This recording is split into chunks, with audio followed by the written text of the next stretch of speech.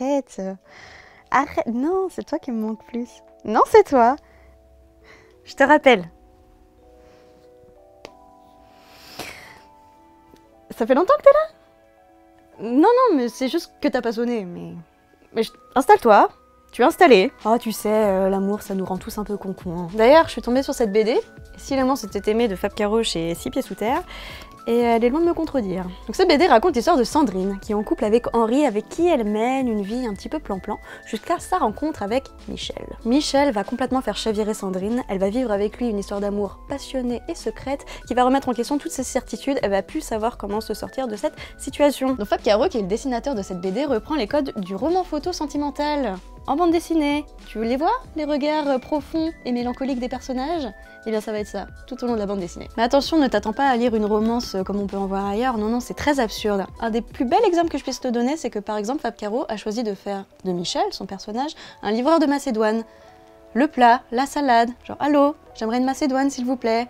C'est Michel. Et au cours de ta lecture aussi, tu peux avoir quelques petites surprises. Par exemple, sur cette page, le texte euh, couvre carrément toute la case.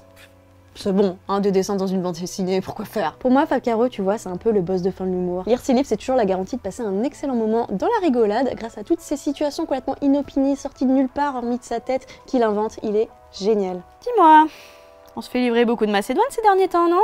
Ah, tu trouves? Bah écoute, je crois qu'à un moment, il faut soutenir les petites et moyennes entreprises françaises dans un marché concurrentiel mondial si on veut éviter euh, la fuite en masse vers des pays où la fiscalité est plus souple. Mince, je dis n'importe quoi, je dois me calmer. Oui, non, ça, d'accord. Mais sinon, tu le trouves comment, le livreur de Macédoine?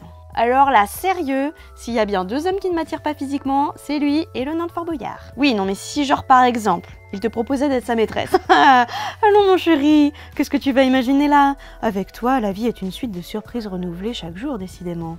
Hmm. Pourquoi transpire-t-elle dessous les bras? Y aurait-il un souci avec la climatisation mais en plus, on rigole, on rigole, mais on réfléchit beaucoup aux questions de société, parce que ces blagues sont bien plus malines que ce qu'elles laissent entendre. J'ai fini là Ah tu... Tu comptais rester, ok. Non, non, c'est juste que j'ai un coup de fil à passer, ça peut être un petit peu long. euh.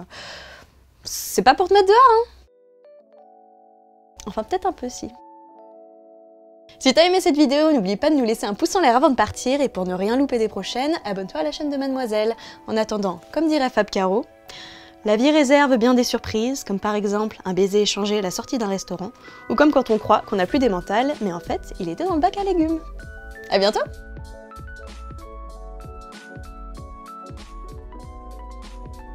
As-tu apprécié cette vidéo? Oui, te dis-tu là. Mais que faire? Eh bien, c'est bien simple. Abonne-toi au calme et lâche un pouce en l'air. Ainsi, nous serons très contents. Merci.